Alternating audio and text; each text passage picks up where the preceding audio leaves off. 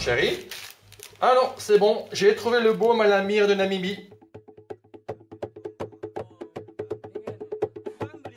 La myrrhe est une gomme résine au parfum agréable, fournie par divers commiphora et en usage depuis l'Antiquité. En Namibie, il a été trouvé un arbre à myrrhe de la variété endémique, Comifera wildii, grandissant dans le sable avec peu d'eau et beaucoup de soleil. En Namibie, les femmes de la tribu Imba récoltent à main nue cette myrrhe sans blesser l'arbre. Cependant, la myrrhe n'est pas utilisée telle qu'elle.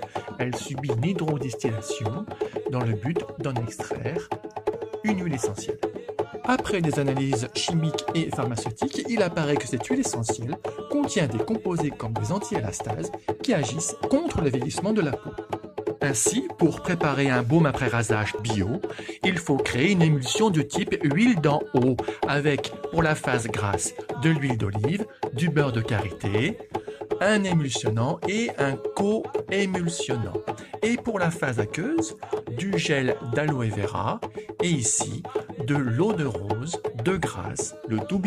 Pour créer l'émulsion, on mélange les deux phases à 65 degrés Celsius avec une bonne agitation.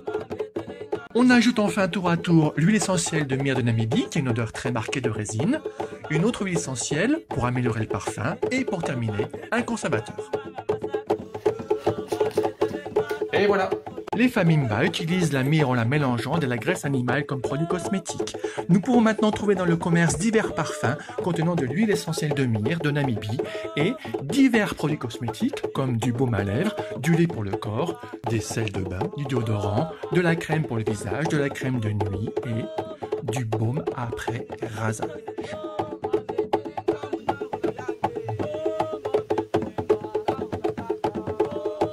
Chérie Chérie. Chérie. Où es-tu? Hugo?